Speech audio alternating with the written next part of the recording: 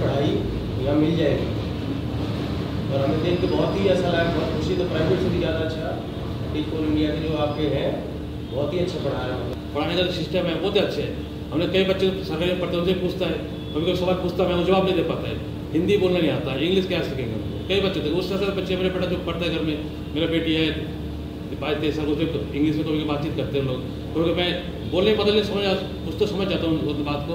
तो दोनों दोनों भाई बहन आपस में बात करते हैं तो मैं सोचता चलो मेरा बेटा कुछ आगे पढ़े कुछ पढ़ा अच्छा कर। हम लोग उतना कल से हम हमें उतना पढ़े लिखा पढ़ाई नहीं हम लोग। हम सोचते हैं, हमारे बच्चे, हम इससे आगे उसके वजह से हमारा भी आगे चलो उसके पापा तो कैसे थे बेकार अनपढ़ थे इनका बच्चा का पढ़ा।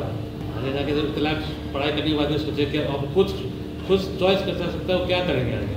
पता नहीं, इसका कुछ होगा नहीं। तो पढ़ाई करने के बाद सोचे, हमें क्या करना है? कौन क्या बने इंजीनियर बनना है डॉक्टर बनेगा वो तो हम तो चाहते हैं बच्चे अच्छे बने। हाँ। जो भी पढ़ाई करते हो घर में जाकर पढ़ते जाए दूसरा ने बताया उनको बेटा घर में जाकर ऐसे करना है मम्मी पापा ऐसे बातें करना जैसे पढ़ाई करनी टाइम टेबल सब कुछ फिक्स कर दिया उन्होंने। वो उसी उसी चीज़ को फॉलो कर करते जा रहा है वो।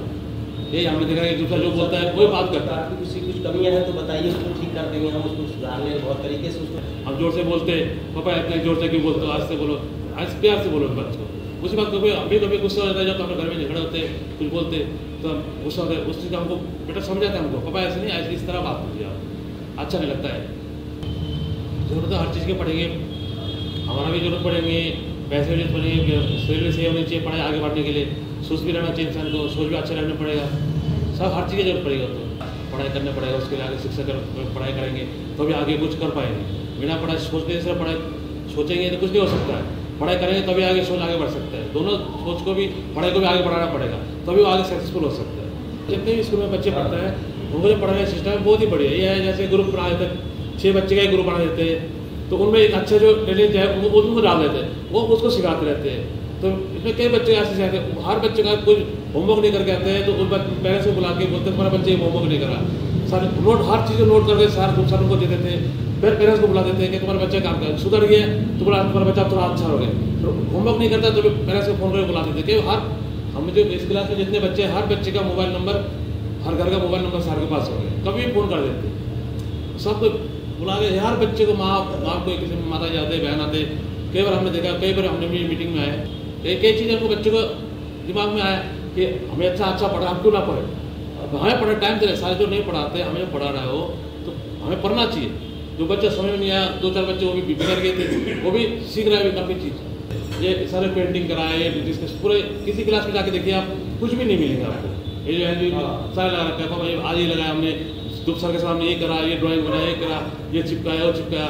सारे मैंने इतना टाइम क्यों होगा बच्चे जब लेट होता है बच्चे माँ बाप को तो थोड़ा सा परेशान हो जाती है। हम बोलते बेटे तो लेट क्यों हो गए तो बोलते पापा दूप सर ने ऐसे करा ऐसे करा हमें ऐसे करवाया। मैंने अच्छा फिर दूसरे नाम आते थे, दूसरा दूसरे से ऐसे करा हाँ लेट तो मैंने मैंने रोका था ड्राइंग में बहुत शौक है लड़के को ड्राइंग करने का, वो चीज़ बनाने का। तो बहुत बनाता है, मैं सहयोग भी करता हूँ उसका पूरा। कभी गाड़ी बनाता है और सर को ले दिखाता भी है। अभी कहीं अदर इधर है चनाकेपुरी भी गए थे बच्चे।